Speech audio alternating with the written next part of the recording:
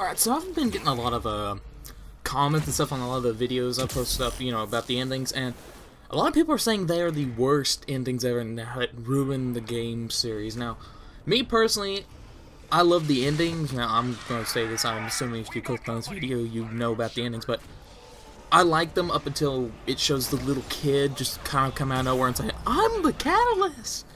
When it went to that, I kind of, they kind of lost me there for a second, but I actually kind of like the endings, even though I didn't get the, you know, the really good endings. Um, I'm hopefully this playthrough I do, but I actually kind of like them, to be honest. I didn't like the fact that the Normandy gets stranded on some remote, you know, planet somewhere, but thankfully my love interest is still on Earth, and for some reason Liara, I had her um, with me during the whole Reaper fight thing, and she shows up in the Normandy, you know, right before, you know, you get sucked up to the Citadel. She apparently decided to walk back to the Normandy on one of the endings, so that was weird, but, you know, I actually kind of like the endings. I think it was kind of fitting, a fitting end, I guess, would say. I wasn't really expecting, you know, a happy ending or anything for Commander Shepard, because, let's face it, uh, how often do you see happy endings in games, especially from, you know, something like Mass Effect, but, uh, yeah, I just, I don't know, it didn't really bother me as bad as it was bothering a lot of people. I mean, a lot of people are saying the ending ruined